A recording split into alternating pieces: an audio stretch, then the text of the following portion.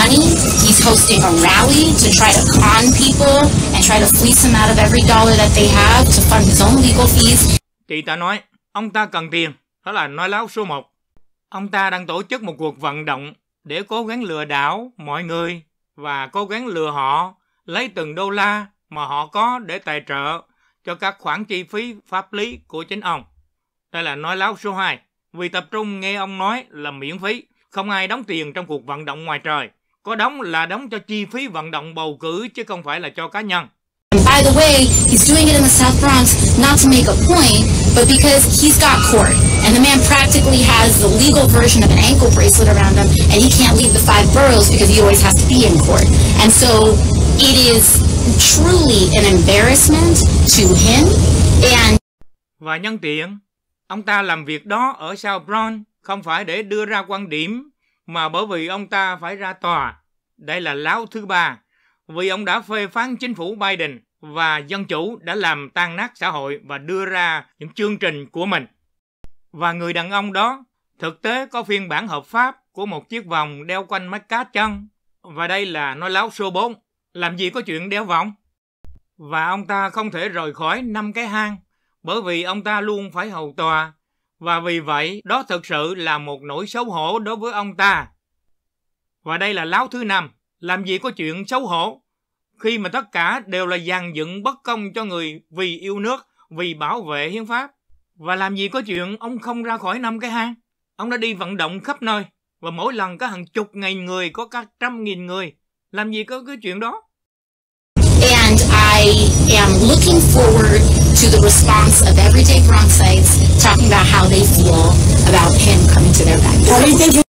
Và hàng ngày tôi đang mong chờ phản hồi của các trang web ở Bronx nói về cảm giác của họ khi ông ta quay lại sau lưng họ. Đây là lao thứ sáu. Các web tràn ngập những hình ảnh và video trên dưới 35.000 người. Và ngay cả cô ta và ông Biden cũng không thể nào làm nổi. Và câu hỏi tiếp, cô nghĩ ông ta sẽ được đón nhận như thế nào?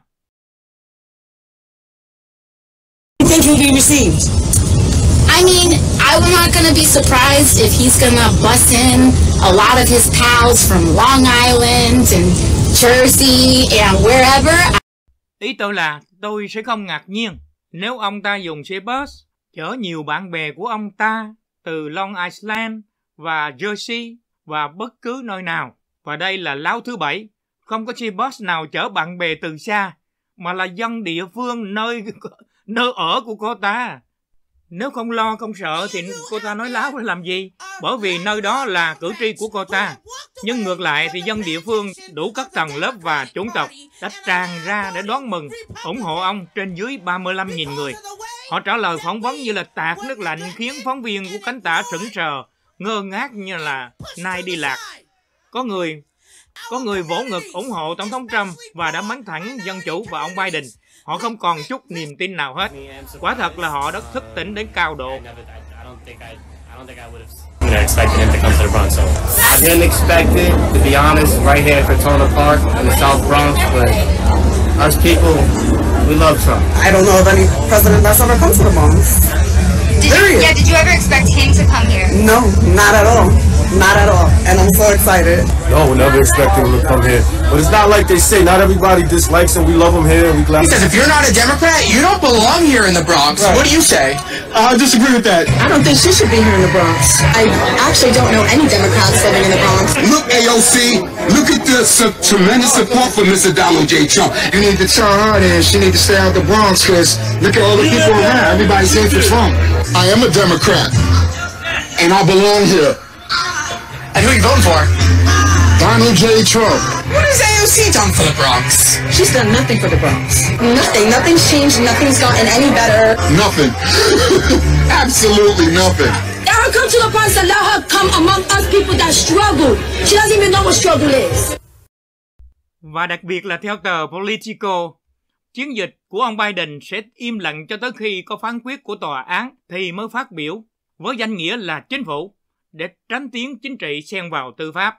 Nhưng có lẽ kết quả bất ngờ bị Tổng thống Trump đánh sập thành trì Bronx, trái ngược với những lời dèm pha, ngoài dự đoán đã khiến cho họ hoảng sợ, thất vọng. Cho nên chiến dịch Biden-Harris bèn thay đổi trận pháp vớ ngay cơ hội vào sáng thứ Ba ngày 28 tháng 5 trước khi kết thúc phiên tòa và vội tổ chức một cuộc họp báo bên ngoài.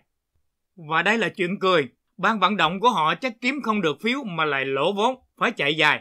Một cậu diễn viên Hollywood 80 tuổi vì ghét Trump đã một phen hy sinh sự nghiệp, danh tiếng của mình cho ông Biden chỉ trong mấy phút. Đó là cậu Robert De Niro. Và như vậy có nghĩa là ta giả bộ tử tế không xong, thì ta dàn trận để đánh đại theo phản ứng. Tưởng họ đưa ra người có ảnh hưởng gì để giành uy tín. Hóa ra họ đưa ra một anh trong giới diễn viên ghét Trump, đã từng chửi tục và đòi đánh ông Trump trên TV cho khán giả cánh tả ta hả hê. Nhiều đài báo đã nói về vụ này, nhưng tờ Breitbart đã dùng một chữ mà diễn đàn này thấy rất là hay, đó là chữ thả. Tựa của bài báo được dịch là Chiến dịch tranh cử của ông Biden đã thả bệnh nhân mắc hội chứng loạn trí trầm Robert De Niro ở bên ngoài tòa án New York. Trong trận vừa đánh vừa chạy liền này, tiền hô thì có diễn viên Robert De Niro và hậu ổn thì có hai người được quân chương công dân danh dự có công trong ngày 6 tháng 1 do người ngồi ghế tổng thống đã tặng. Hai cựu sĩ quan cảnh sát thủ đô là Harry Dunt vừa bị rớt trong cuộc bầu cử dân biểu sơ bộ cùng với ông Michael Fanon. Khi họ được các phóng viên hỏi lý do tổ chức cuộc họp báo bên ngoài phòng chữ án, thì ông Dunn nói rằng họ đến đây để nhắc nhở người dân về cuộc tranh luận ngày 27 tháng 6 về mối đe dọa càng tăng từ Donald Trump đối với nền dân chủ. Còn cậu De Niro thì mang giấy đã viết sẵn ra đọc về Tổng thống Trump như sau. Nếu hắn vào, tôi sẽ nói ngay bây giờ là hắn sẽ không bao giờ rời đi. Hắn sẽ không bao giờ rời đi. Các bạn nên biết, hắn sẽ không bao giờ rời đi. De Niro đã nói, đồng thời tuyên bố rằng ông Trump, ông Trump sẽ trở thành nhà độc tài suốt đời. Cậu ta nói thêm, điều đó có nghĩa là gì? Đó không phải là đất nước mà chúng ta muốn sống. Chúng ta có muốn ông ta điều hành đất nước này và nói, tôi sẽ không rời đi, tôi là kẻ độc tài suốt đời. Dưới thời Trump, chính phủ này sẽ tàn lụi khỏi trái đất. Và cậu ta tiếp, tôi hy vọng chiến dịch quảng cáo mới này sẽ vượt ra ngoài bong bóng để nhắc nhở những người ủng hộ về mức độ nguy hiểm của hắn đối với cuộc sống của chúng ta. Đây không phải là một mối đe dọa, đây là một thực tế đấy nhé. Và cậu ta cũng gọi những người ủng hộ Tổng thống Trump là lũ hề và những tên xã hội đen. Và sau đó thì cậu ta đã đụng độ và nổ súng điên đã hét vào mặt của người ủng hộ Tổng thống Trump, đấu đầu với cậu ta. Sau đó cậu ta cố gắng chuồn khỏi khu vực tòa án và họ đuổi theo cậu ta cho đến khi xe của cậu ta đi khuất. Và thế trận đánh càng, bằng bài ca không quên ông Trump độc tài của ban vận động Harris Biden đã thất bại trong chốc lát, có lẽ không kiếm được bao nhiêu phiếu. Và huân chương danh dự 6 tháng 1 đi kèm cũng chỉ là bình phong để xem chơi chứ không tránh được gió bão mà ga ở đây.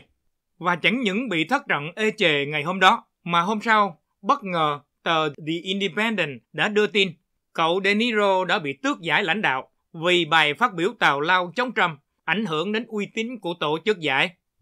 Và như thế là gần cuối đời đã hy sinh sự nghiệp vì cảm tính trong chốc lát.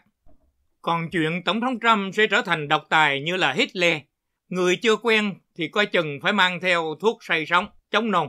Vì đây là lập luận bá láp, cái lý sự cùng bởi một lẽ vô cùng đơn giản mà học sinh tiểu học cũng biết.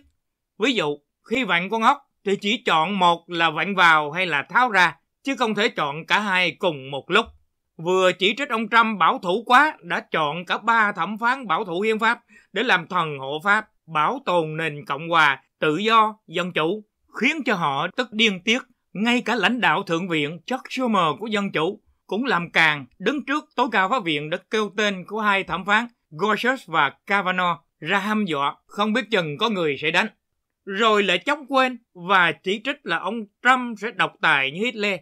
Muốn độc tài thì phải thay đổi hiến pháp, thay đổi nền móng chế độ thì mới đổ thành độc tài được. Hỏi chứ có ai ngu gì mà vừa củng cố đổ bê tông cốt thép vào nền móng để rồi mình đục phá chứ. Chỉ có đảng Dân Chủ đã luôn luôn nỗ lực hàng chục năm để thay đổi các điều khoản hiến pháp, biến hiến pháp thành hiến pháp sống để đáp ứng nghị trình cấp tiến xã hội, nhưng là khó thành thay đổi nền móng chế độ thì chế độ sẽ thay đổi. Như vậy, theo lẽ thường, nếu có độc tài thì chỉ có đảng Dân Chủ có ý định đó thôi. Chứ Tổng thống Trump làm sao làm được?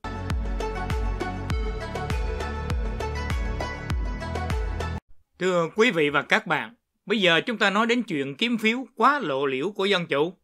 Dân chủ đã đánh giá thấp công chúng là dùng kẻ hở của luật pháp, vũ khí hóa tư pháp nhằm đánh hạ Tổng thống Trump qua cái nhãn kẻ phạm trọng tội. Dân chủ bị hầu hết các chuyên gia luật pháp công khai vạch trần mưu đồ can thiệp bầu cử. Dân chủ đã khiến người dân kinh hoàng khi thấy họ dùng kiểu định tội giống như các nước chuyên chế. Dân chủ đã đi theo chính sách cấp tiến, cho nên trước mắt đã phá hỏng nhiều mặt của đất nước và xã hội Hoa Kỳ.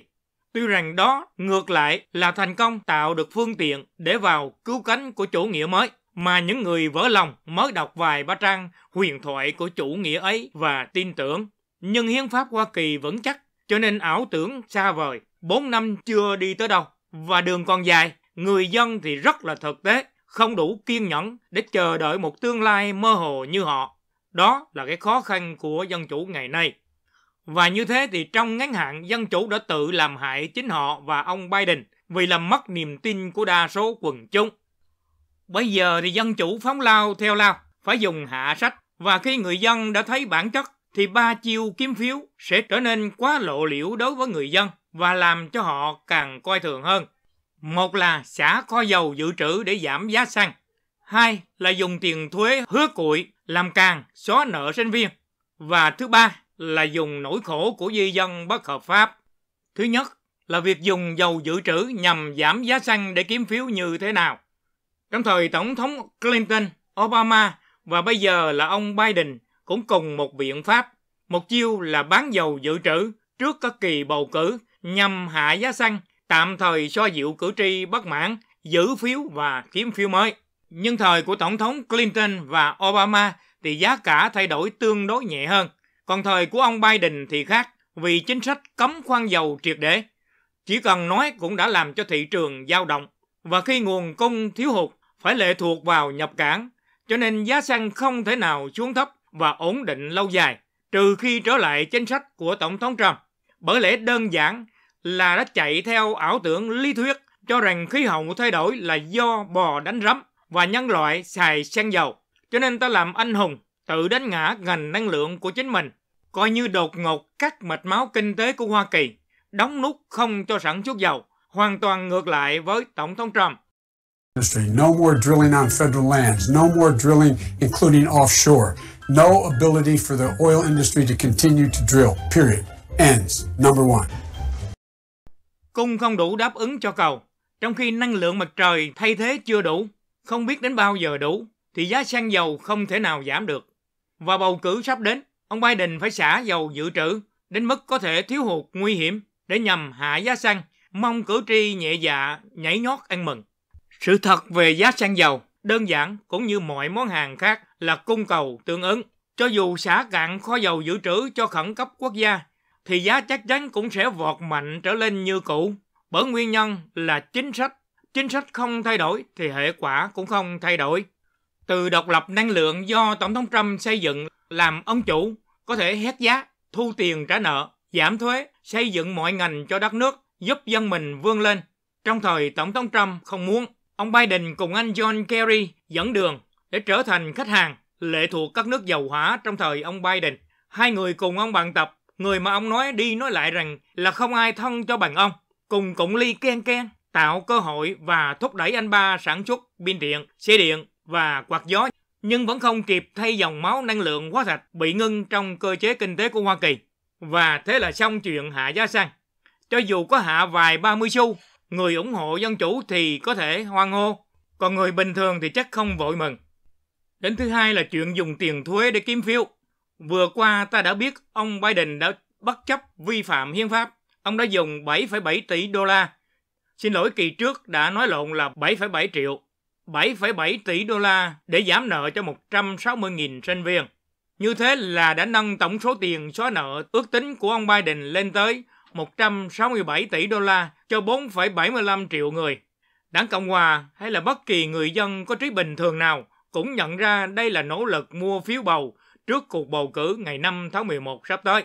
Vào tháng 6 năm ngoái thì tối cao phát viện cũng đã bác bỏ nỗ lực trước đó của ông Biden nhằm xóa khoản nợ sinh viên khoảng 10.000 đô la hoặc là 20.000 đô la cho mỗi sinh viên.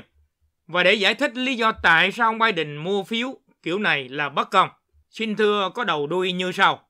Thứ nhất, đây là một lời hứa mang tính chính trị chứ không phải là nhân đạo hay là kinh tế.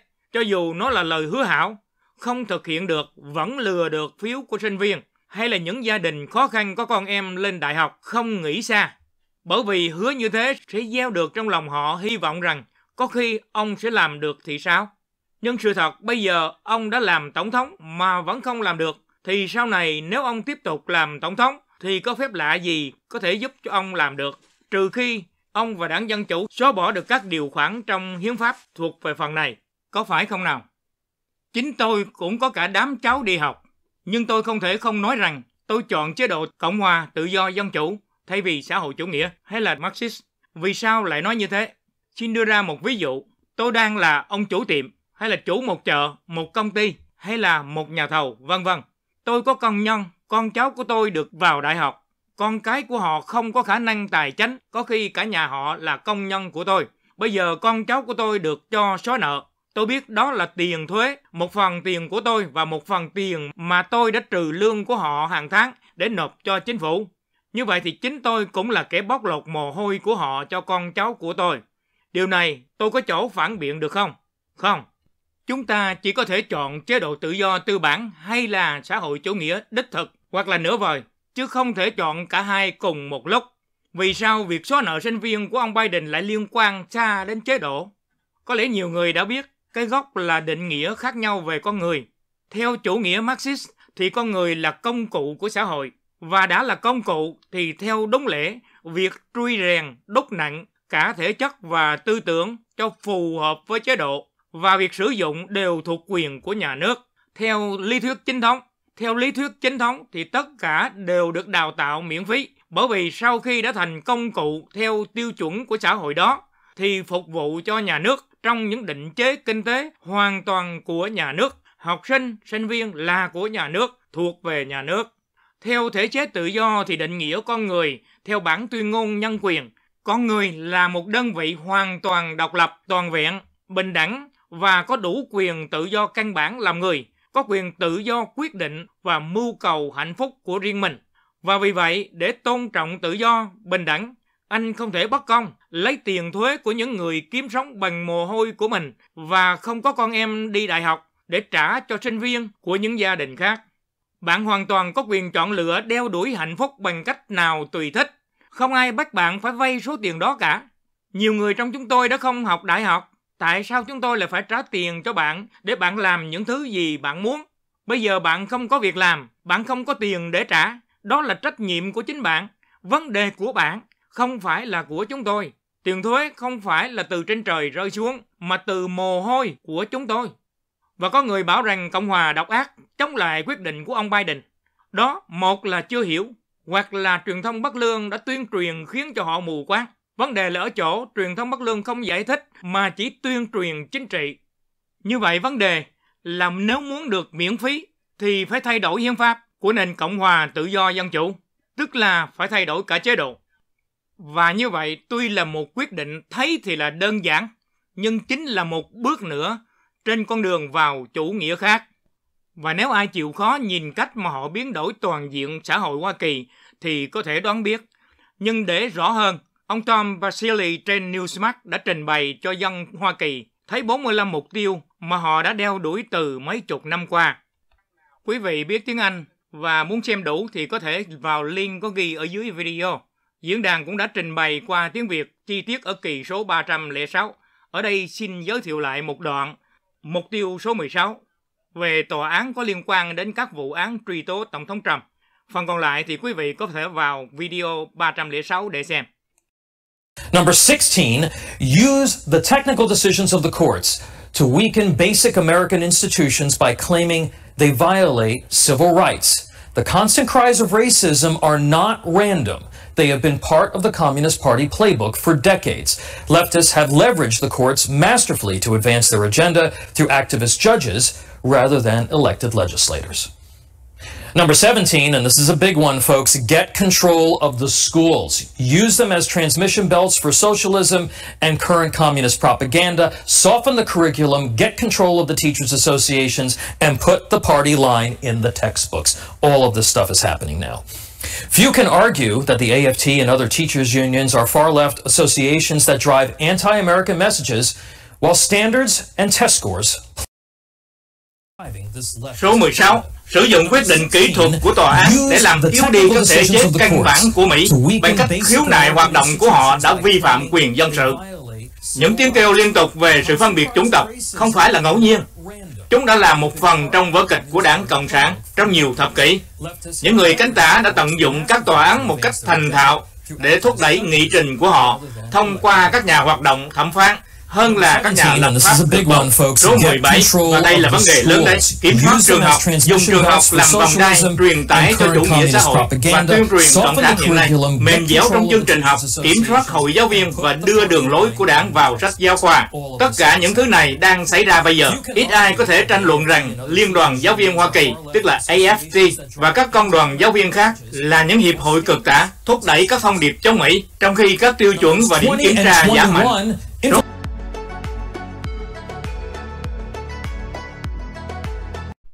Đến thứ ba là dùng di dân bất hợp pháp để gây niềm tin, hy vọng kiếm được phiếu. Giải pháp kế tiếp là dân chủ dùng di dân bất hợp pháp. Sắc lệnh mới của ông Biden có vẻ như là theo Tổng thống Trump, đóng cửa biên giới, nhưng không phải. Ông chỉ gọt bớt các con số trong dự luật đã bị đánh bại vừa qua, mà ta gọi là Hoa Kỳ còn đại phúc nhờ đảng Cộng Hòa đã đánh bại dự luật đó tuần trước. Theo lễ thường là biên giới tại sao phải mở để rồi phải đóng. Có phải không? Theo Fox News đã tóm tắt sắc lệnh như sau. Thứ nhất là sẽ đóng biên giới. Sẽ đóng biên giới nếu trong 7 ngày liền, trung bình là 2.500 người bị bắt gặp. Như chúng ta đã biết, hôm trước là 5.000, rồi 4.000, rồi bây giờ giống như là trả giá 2.500. Theo đúng lẽ thiên kinh địa nghĩa là zero, chứ tại sao là biên giới của mình, hàng rào của nhà mình lại cho con số xâm phạm là 2.500 người thì mới chặn lại? Nếu không có mục đích gì thì tại sao làm như vậy? Và điều này có hiệu lực cho tới 14 ngày sau khi trung bình 7 ngày có ít hơn 1.500 người được bắt gặp dọc theo biên giới. Tiếp đến là vẫn cho phép 1.8 triệu di dân bất hợp pháp vào nước hàng năm, nghĩa là vẫn y như cũ.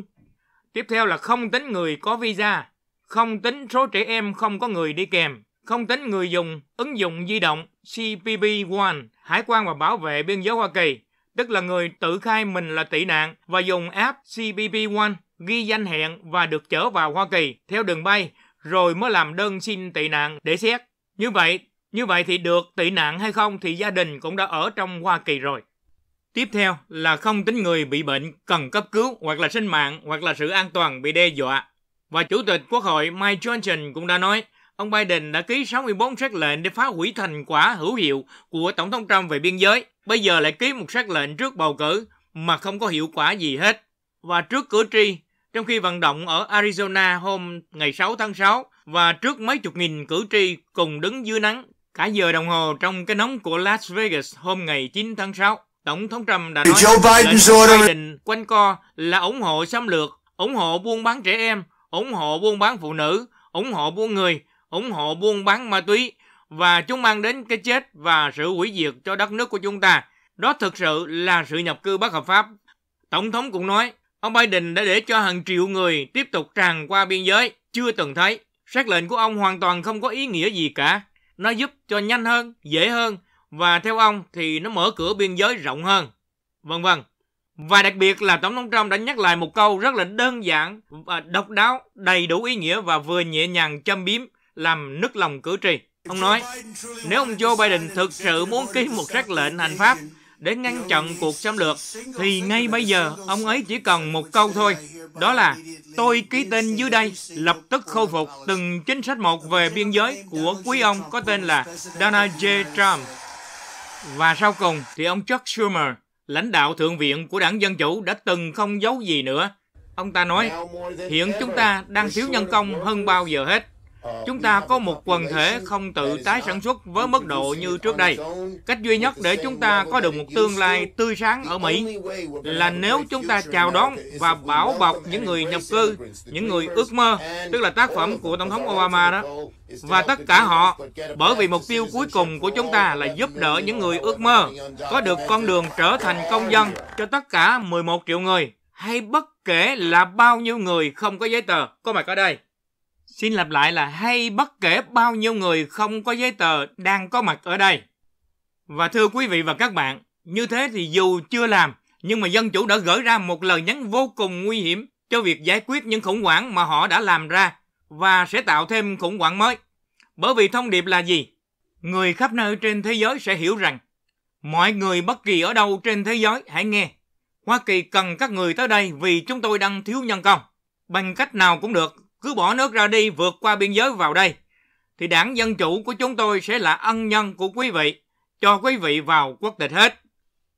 Thưa quý vị và các bạn, những đại diện vỗ tay ủng hộ đề xuất đó có hiểu hậu quả của lời nói của ông lãnh đạo Schumer sẽ thế nào hay không?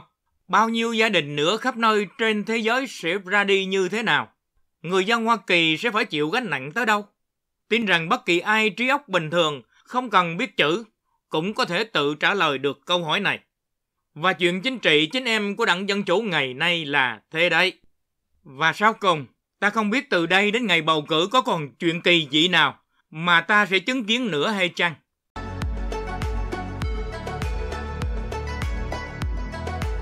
Và cuộc nói chuyện với bình dân kỳ thứ 349 Liên Âu về nguồn theo Donald Trump và Dân Chủ kiếm phiếu thất bại. Đến đây xin tạm dừng. Kính chúc tất cả vui khỏe và bình an. Rất mong quý vị bấm vào subscribe nếu chưa từng làm, nhấn chuông và chọn O để được thông báo có bài mới, nhấn like để giúp sức thuyết phục YouTube. Xin hẹn gặp lại cũng trên diễn đàn độc lập kỳ tới. Xin tạm biệt, bye bye.